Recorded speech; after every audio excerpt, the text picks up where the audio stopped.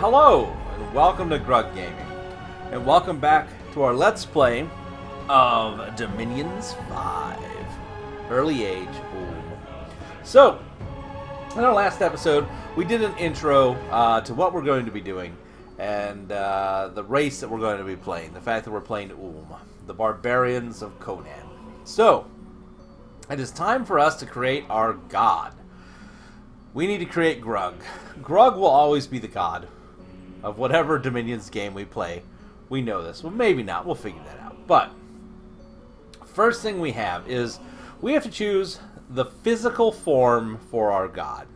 So we have three, four levels of god here. We have the lowest level, and these are creatures like enchantresses, this freak lord, an arch druid, uh, a bad bad queen, a werewolf lady. These are creatures that are not super powerful as far as godhood goes. So they have a dominion of one. And if you can't tell by the name of the game, dominions, dominion is rather important. What dominion is, it's your your faith power would be the way to describe it, your godhood. The higher your dominion, the more influence you will have over territories that are conquered by your people. Um, it also has effects on your sacred troops, powerful magic, things like that. So I don't like Dominion 1 creatures because I think uh, having only a 1 Dominion, not that great. Now there's some stat things you can do to change them up, and maybe in a different play we do something with them, but not in this one. Dominion 2, this is kind of your magical, mythical creatures level of godhood. This is things like giant god snakes, like the giant snake from uh, from the Conan movie. Um, you know, griffins, magical boars, uh, dogs of the underworld, mysterious strangers, your ghost kings and liches, and your super birds. You know, kind of that. This is a magical creature with powers type level. Dominion 3 this is kind of your demigods. You know, when we think about something like, you know, think about the Greek gods from Mount Olympus, uh, which is what you see in a lot of these, or think of some of your Norse type gods, um, where you might have something like, I don't know, here's an example Lord of the Forest. Um, you know, the god of forest right there, right? It's do with a spear. So they have a pretty good dominion, and they have a physical body that they can move around the map. So they could fight, things like that. And then you have your Dominion 4. And these guys gain the, uh, the ability to have more Dominion, more God power, but the trade-off is they're stationary. And I personally, for uh, uh, this, we're going to use a stationary God. I know we did that in Ermor as well, um, but again, we're playing a nation that has got some some really tough fighters. I mean, these are barbarians who are looking for the enigma of steel and who know it. So we don't need a big old scary god to go with them. No, we're going to be out there, the power of man, with some magic. So we're going to choose a god here from the Dominion 4 level. And we could choose an Oracle Fountain or a Monolith or this idol of men, or an idol of beasts, or even this weird idol of sorcery. But instead, we're going to choose the god form that actually has to do with who we're playing. If you remember, we had that special site, Irminsul. Well, that's actually going to be our god, the magical tree god of Ulm. So, an upside to this is that we also save some points on making our god in the point system because of he's our nation's god. So, Irminsul. Irminsul is an ancient tree that possesses intelligence, magic, and a very strong dominion. Being a tree means Irminsul cannot move around, but it also means it is tremendously difficult to kill in combat, and assassins are nothing to fear. The Irminsul is always guarded by three large bears. So we got our Irminsul, doo-doo-doo, and he has three great bears at his side at the start of each battle. So what is he? He's got three levels of nature magic. He's got 11 points for research. He's resistant to blunt and piercing weaponry. He's weak to fire. He's resistant to poison. He doesn't have to eat. He is forest survival. He gives us a supply bonus in our home world. He's also an Ivy Lord. If he summons Ivy creatures, he gets more of them. And he's an innate spellcaster, which means in combat, no matter what's happening, he can always cast spells, even as he's beating the people to death with his branches. Hopefully, he never gets into combat. So we're going to choose the Irminsul as our god. So what's that do for us? Well, that gives us some base uh, magic levels. It gives us base Dominion. Again, cold 1. Our guys like the cold. Uh, our Dominion level 4, the more Dominion you have, the more influence we will have. Um, so here's what we're going to do. We can also choose to have our god be asleep to start the game. And by doing that, um, it will let us have our god have more power and more dominion, but we won't get to use our god till later in the game. We're probably going to have him be dormant. I'm not sure if we'll be dormant or imprisoned. We'll look at how many points we spend. Now, a downside to this type of god is that for any magic you want, we need to learn above and beyond its base magic right here, uh, we have to spend a lot. That tree in the background right there is just bugging me. So, here's what we're going to do. We are going to up his dominion. And I know that's probably going to get expensive, but a good dominion of like 8 means that we'll be able to spread our dominion everywhere. And we're going to use him to bolster our our country. So, places we take over are going to get cold. Um, and that's good again for our characters, because again, they have that cold resistance and they don't care about snow. We're going to want to go ahead and we're going to make our places more lucky. So we're going to increase our luck so that when things happen, we don't get bad luck. We're going to increase our productivity so we have more resources. We're going to increase, let's see, what does order do? Uh, recruitment points plus 10, resources. We're going to get our order up as well. And do we need some growth? Uh, let's see here. If we up this, what's that do? Ups our growth a little bit. And our income a little bit and our supplies plus 10. I think I like that. So you can see we're at negative 65 points. So we want to get some more magic, again, for our god here, so that we can make some magic items. And we could get magic to fill in the points that we don't have, but I'm more interested just in him being able to help out. So we're going to go ahead and make him dormant. And we're going to give him Earth. So that's going to cost a lot. In fact, we're probably going to be imprisoned or we're going to take some of these down. I think I think we're going to take these two down a bit.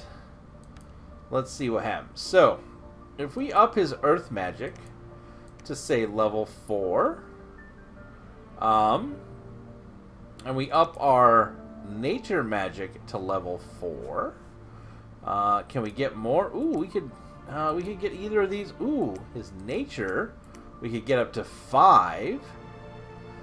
And that gives our priests some extra spells like Final Rest and Word of Thorns they would learn. So I think we'll do that. So we get those up. That leaves us a couple points. Um, we have nine points. It kind of that's kind of stinks. I wish we could could spend some more, but so this is going to give us some high-powered nature magic. It's going to give us okay earth magic, so high enough that we'll be okay. And we're going to be able to add some bless effect to our sacred troops when they have a bless spell cast on them. So that'll make our shamans and the steel warriors better. So let's figure out what bless effects. This is something new for this game. So, we can choose. We have. Oh, we have all kinds of stuff. Okay. So, incarnate means this only happens when our god is on the board. So, we can get Mountain Survival. Um, all our guys already have Mountain Survival. Why waste a point? Uh, and again, Reinvigoration. Uh, blessed units when they're blessed. Reconstruction, all sacred inanimate units. We don't have those really. Blessed units receive increased strength when they have a bless on them. Unbreakable. Uh, they get protected from afflictions. Larger. All sacred units of size 5 or less will be larger, stronger, and able to withstand more damage. Bigger size, plus 30 hit points, plus 3 strength, minus 1 defense skill, plus 2 move. It's always active, doesn't require the sacred unit to be blessed. We might do that. That'll make our steel warriors just big dudes, big honking guys, ready to go. Or we could get resilient, low light vision, minor poison resistance, forest survival. Uh, we if we got a thing of death, we could get poison weapons, or if we had a thing of a dominion of a magic scale of level one, we could get on aging. Recuperation. Our sacred units heal battle afflictions. And berserker. All sacred units are able to go berserk and when are wounded. I like the idea of larger. So we'll take that in our sacred units when we make them. So our our antler men, our shamans, and our steel warriors will have extra hit points. Again, extra hit points, more strength, uh, a little bit easier to hit because they're so big, but they can move farther. So I like that. So that leaves us two tree power. So we could either give them forest survival, they already have that, or something to do with bless what the blessing does. Let's give them how about resilient? So they can withstand more damage. Little extra hit point there, can't go wrong. And how about blessed units? Uh, are again, we'll double up the hit points. Give them two extra hit points. So, yeah, I like it. I like it. So we can make big blessed guys, but really we're going for the the earth and the uh, what's this called here? This is called nature magic and then our scales where we want them, and our good dominion. So this is how we're going to set up. So I think we are ready to go. We're going to hit OK. Name of our god is not growth. His name is Grug. I've given the full name, Grugtar. Let's do it. Everybody worship Grug. Alright, all praise Grugtar. So now we just set up our game settings for this game. Um, starting is 1. Strength of independence, we're going to leave all this the same. Our special site frequency, we're going to put at 60. Um, I think 50 is the default. I'm going to go to 55, just a little bit more. Um, we're going to enable score graphs so we can see how we're doing. We're going to allow more people in the Hall of Fame. We're going to leave global enchantments at 5s. I'm not going to touch any of this stuff. Random start research. Okay. We're going to leave Thrones of Ascension the same. Uh, you could change the number, um, but we're going to set it so there are six thrones, and you have to take over all six to win. All right.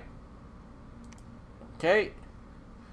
We don't need a password. Renaming is allowed. We want to rename our characters, and I don't really care about cheat prevention. I don't know what that does, but what if? Whatever. All right, here we go. So now it's got to generate our world. It's filling up the water, making us extra dry capitals, dividing the world, making some borders, putting in some rivers, some river borders. Oh, yeah. I feel this. This is going to be great. Woo! Putting trees. Trees are important. If you don't have trees, you don't get oxygen. If you don't get oxygen, you can't have fire. Everybody loves fire. That didn't go where I expected it to, either. Alright, so, takes a little bit, because of course it is generating our world right now. Any type of world generation like this always takes a tiny bit of time.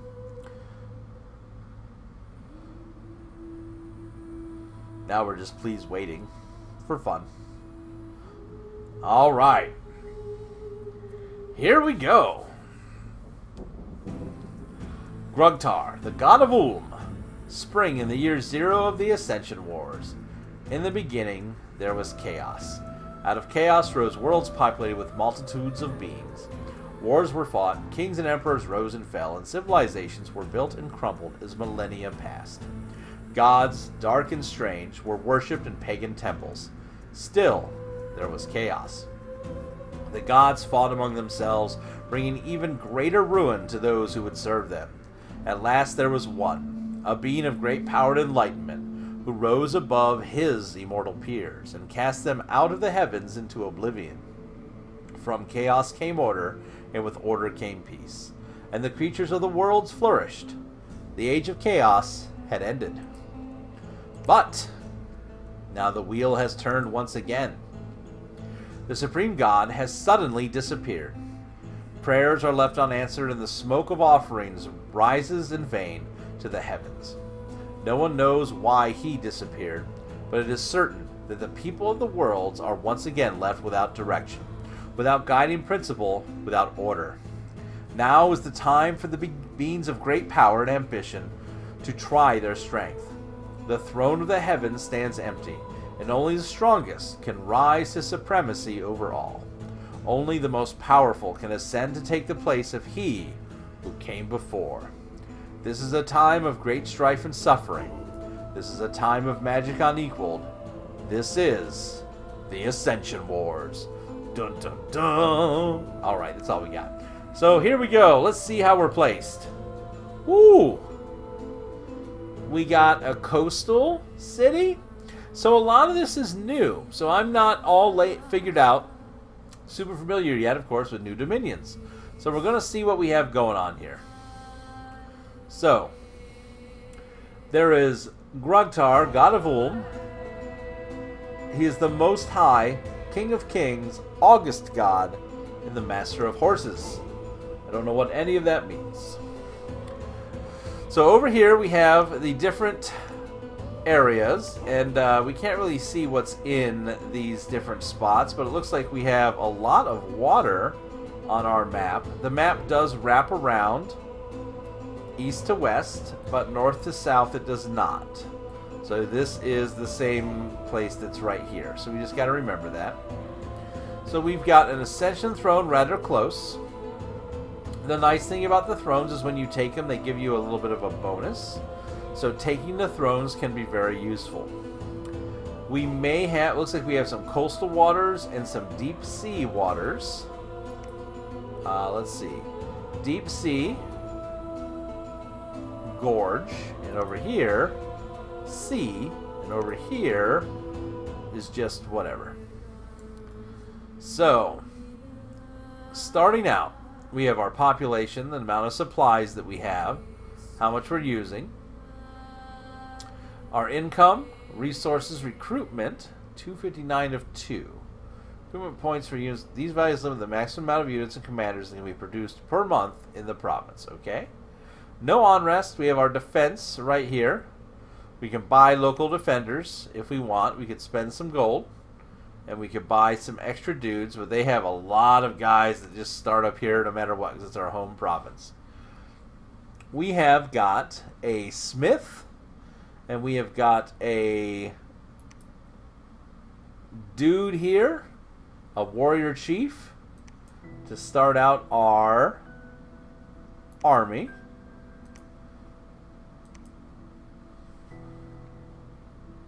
Okay. So, scoping it out, we want to take these areas, we want to work towards this throne and take it as well. So, what do we need? We've got our scout. So, let's take our scout and let's have him travel over here. And does it do the shift? Or is it control? Okay. So, regular click is gray sneaky line. Control for sneaky folks is red, I'm a fighting line. We want him to, actually we'll have him sneaky this way or through the mountain. Uh, let's go towards the village. Well, let's go here. So we can take here and take here, boom. we have already got our Ascension Throne. What is going on with these mushrooms over here? What is all this nonsense? Okay. Of course, we have these water areas that we can't take. Maybe we can recruit some amphibious dudes. We have also got a couple things to look at here. Uh, we have got some research. So we started out with Conjuration at level 1. Um, so level 1 Conjuration, we can summon some Cave Grubs or Tangle Vines.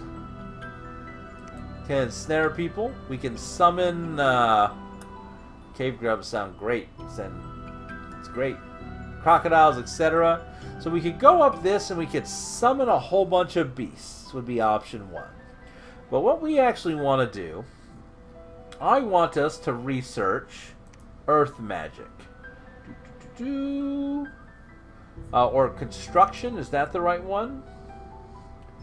Lesser, greater, magical, yes. So we're going to go through construction so that we can make great magical items. Oh, we have level 1 already. Cool. So we are going to research construction to level 2. So because we have level 1, we can make magical trinkets, and we can make a corpse man if we had this type of magic. But once we get to level 2, we can make more magic items, and then we can get up to level 4. We can make even greater magic items. That's our plan. We're going to make some magic items. We can even make a siege golem. Ooh, cannot be cast underwater. Alright, so we're researching construction. There are no global enchantments. Magic resources. This is what we get in return. Uh, we get... Uh, two nature gems, one death gem, and three earth gems are returned from our magic sites. We'll do Army Mercenary Recruit in a minute. Inside of this province, we have a fort. Not under siege. It's a standard fort. It looks like it's a fortress. Cool. We have a laboratory, which is probably that guy right there. We have a temple to our god. We have one temple. We can convert provinces to our dominion. Our dominion strength is 8. 90% chance of our dominion spreading every turn. And... Cool. So this is going to help our dominion, the power of our gods, spread throughout the map. I love how Ulm's got this, like, anvil on top of their flag. Again, we have the Wheel of Pain, and we have Irminsul. So let's go to recruitment. Actually, army setup. Here we have uh, our main character, who we're going to get renamed to Conan once I remember how to rename them. Um, is it is it R? Feel like it's R. No. Nope, I don't remember. I'm going to have to find that out. Uh, it's not right click. Space. Alright, I'll figure out the naming here in a bit. That'll have to happen. But, we have a couple things we need to do. One, we need a prophet uh, for our religion, and we're going to recruit our prophet. We're not going to have our... Well, maybe we do. Let's do that. Let's have our guy here, once I figure out how to rename him, he'll become a prophet for our for our religion. That sounds like a plan. But we're going to rename him to Conan first. Conan the Prophet. We also need to go ahead and recruit some units. So we can recruit one commander, eh, or as many people as we can, and then our things here now. Our shaman are slow. Do they still have the slow fast thing? How does this work? So commander points two. Okay. Got it. So we can recruit two commander points, eight holy points, 259 recruitment points. We have 116 resources and 400 gold. I see how this works. Okay. So we are going to need, I think, again, the magic is the big thing. We need to start researching magic. So we are going to recruit one of these warrior smiths again to research for us and get us some smithing going. And then we are going to recruit. How expensive are folks here? Shield maidens are 14 gold, 13 resources apiece. 14 gold, 13 resources. 28 gold, 17 resources, 31 recruitment points. Woo! And regular dudes are 10 gold, 12 gold. Alright. Here's what I'm thinking. I think we go heavy on some shield maidens so that we can get the most out of our gold. I mean, spending a couple extra gold. I mean, most of our, our soldiers here in armor are 12. I like the shield maidens. So we're going to recruit some shield maidens. Uh, we can't recruit that many because of the resource requirements. And I think... Uh, maybe we get some archers, or no, we just go with the shield maidens. Let's just keep going. Uh, can I get some more archers, though, actually? Oh, we get negative one. Ah, there we go. Alright, so we're going to recruit some shield maidens and some archers. I don't know how how difficult it is for uh, like army sizes in this new one. Ooh, this will be all kinds of new learning today. We'll find it. All right, so we're going to do some recruiting. So, we have our scout heading off right here. We're going to rename this Bessie to Conan and make that our prophet. And then we're going to do our recruitment and that'll let us set up our army a bit more down here. So that is currently, oh, what's this going on? Two out of three squads. Ooh, this is way set up a lot better. How much we can lead. What's this? Require 20. Oh, look how well this is spread out over how the old game used to be. Cool. All right, well, this gives us a lot of information. So, we have got everything kind of set up. Siege strength of 35. 25 units owned by Ulm in the province. Okay, cool. So we've got everything set up to end our turn. When we come back, we will have the results from this turn and Bessie renamed to Conan so that we can make him the prophet. Until then, I'm going to say thanks for watching. Please tell your friends. Feel free to like, comment, subscribe, and as always, we hope to see you soon.